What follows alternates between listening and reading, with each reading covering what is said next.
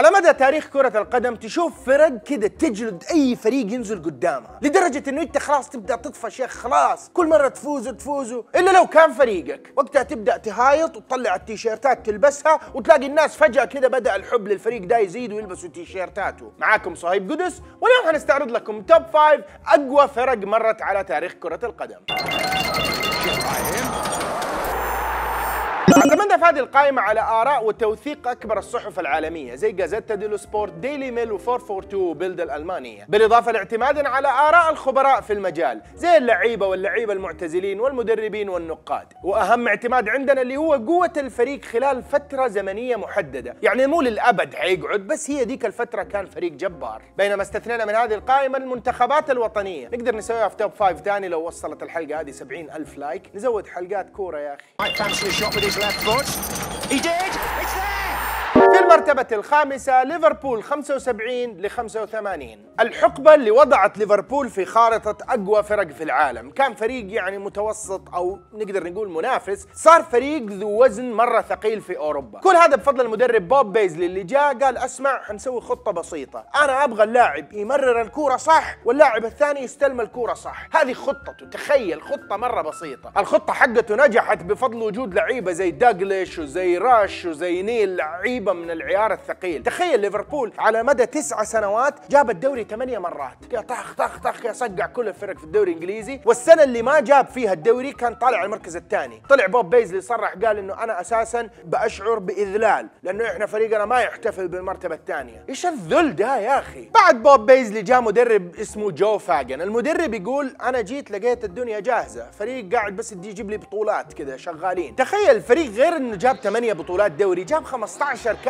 محلي وستة كؤوس أوروبية. ترى ليفربول ما يعني نص انجازاته جات من هذه الفترة. اللعيبة اللي ذكرتهم لو عددنا top 10 لعيبة لعبوا في ليفربول كلهم حيكونوا موجودين من هذه الحقبة يعني. البطولات القارية حقته كان ممكن تزيد بس بسبب نهائي 85 الشهير الفريق انحرم ستة مواسم. ستة مواسم ما يشارك يعني. تخيل عندك فريق كده أسطوري وما أنت قادر تشارك في بطولات أوروبية. ترى شيء يقهر بس هم يستاهلوا برضو.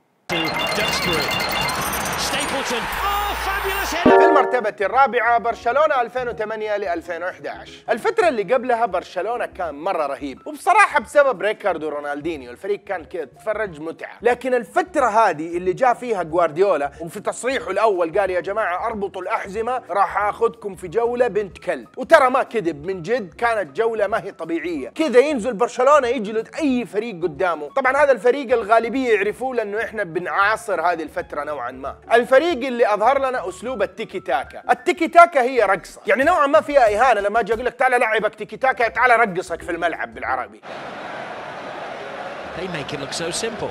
Control, pass, back flick, pass.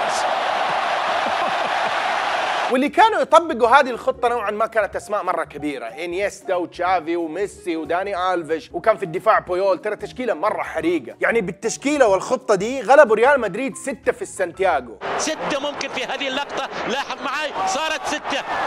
صارت ستة لبرشلونة. وخمسة في النو كامب. خمسة صفر.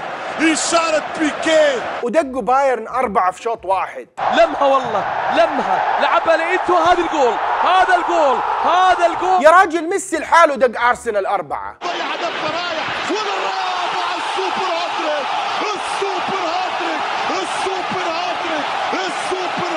راجل لدرجة جمهور برشلونة يقول لك خلاص طفشنا بس نفوز بس نفوز. هم ما بيجيبوا بطولات في الفترة الأخيرة ولا زالوا بيقولوا بس نفوز يا خوي خلاص ما نبغى.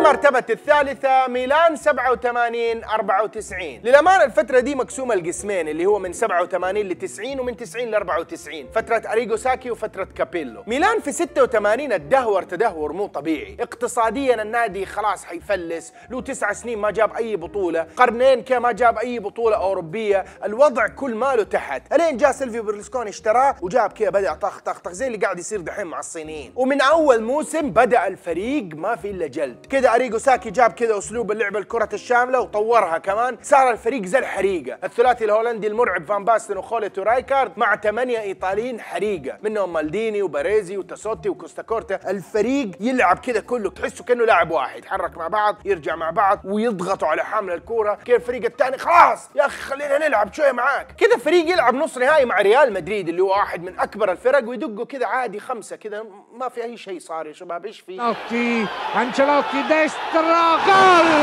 Grandissimo! Calibra il suo cross, il colpo di testa di Rijkaard del 2-0! يوصل المباراه النهائيه ستيوا بوخارست 4-0 اوه خلاص شيل الكاس خلاص وامشي. في خلال ثلاثة مواسم جاب ستة بطولات قارية وثلاثة محلية. بس الفرق الإيطالية وقتها كانت مرة قوية. كان في نابولي مارادونا وكاريكا. كان في إنتر ماتيوز وكلينزمان. كان في سامدوريا فيالي ومانشيني. فكان مرة صعب إنه تجيب بطولات بس كان ميلان كاسر عينهم كلهم. في عام 92 الفريق جاب بطولة الدوري الإيطالي بدون ما يخسر ولا مباراة. خلاص في 94 كبروا. أكيد خرفوا دول ما حيعرفوا يلعبوا. وصلوا النهاية مع برشلونة. خلاص يا خوي 4-0 في ال final. Gol!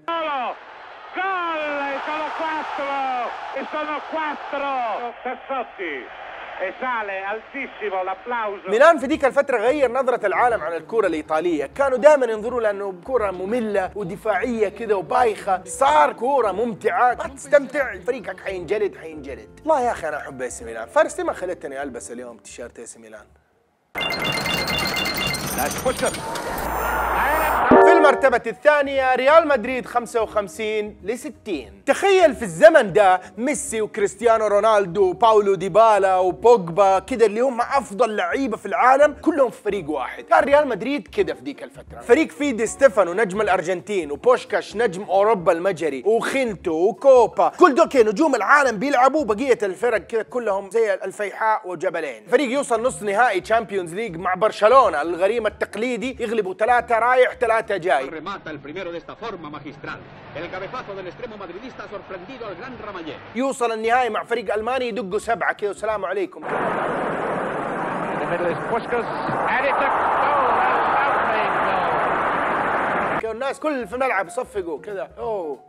خلاص شيء طبيعي. والله ريال مدريد بيلعب يا شباب. معليش إحنا رايحين ناخذ الكاس بس اليوم. كذا الفريق يحس ما يحتاج يتدرب. خلاص إحنا رايحين نتدرب في الملعب. بس حناخذ كاس معانا. السير أليكس فيرجسون في التسعينات كان يقول إنه أنا بدي أسوي أسلوب الكرة الحديثة. أشتري كل نجوم العالم احطهم في فريق. زي ما سوى ريال مدريد في الستينات. طبعا زمان اللعيبة كانوا يعني رخيصين فتقدر تسوي ده الشيء. أسلوب الكرة الحديثة أحس دحين مرة صعب. إلا كي تكون مفلغم فلوس تسويها. ريال مدريد هذيك الفترة جاب خمسة Champions League ورا بعض. تخيل كي ورا بعض كل نهائي طخ يجيبه طخ. خلاص يا ابن الحلال طفشنا. ما في فريق أوروبي قدر يسوي ده الإنجاز. جاست فونتين المهاجم الفرنسي يقول إنه فريق ريال مدريد ده هو الفريق الوحيد اللي يقدر يغلب البرازيل السبعينات حق بيليه. ما في غيره.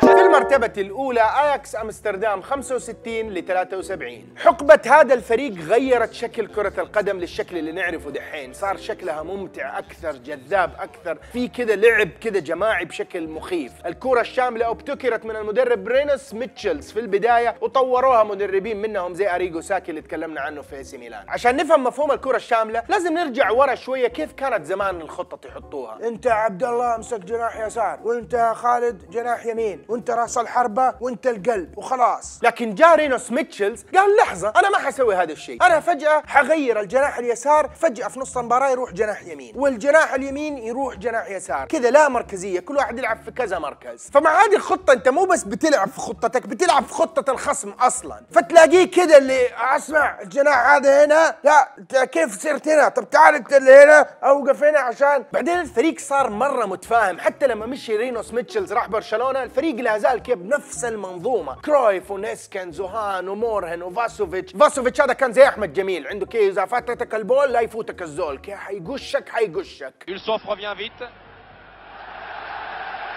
في ديك الفترة اياكس جاب ستة بطولات دوري وأربعة كؤوس وخمسة بطولات قارية منها ثلاثة Champions League ورا بعض. كذا طخ طخ طخ كذا وكان يجلد كل فريق ينزل قدامه. تأثيره مو بس هنا تأثيره انعكس حتى على المنتخب الهولندي. منتخب هولندا صار مرة قوي في السبعينات. جاب بطولة أمم أوروبا ووصل نهائي في كأس العالم. كذا أساسا تشكيلة اياكس 10 لعيبة هولنديين واحد ألماني كذا لوحده. كذا الفريق كله خوي تعال وجيب أي واحد كذا من فينورد ولا وخليه يلعب معاهم مو مشكلة. آه لحظة حتى أظن الثاني جابوه من الاحتياط حق اياكس برضه. برضو متدرب أحسن!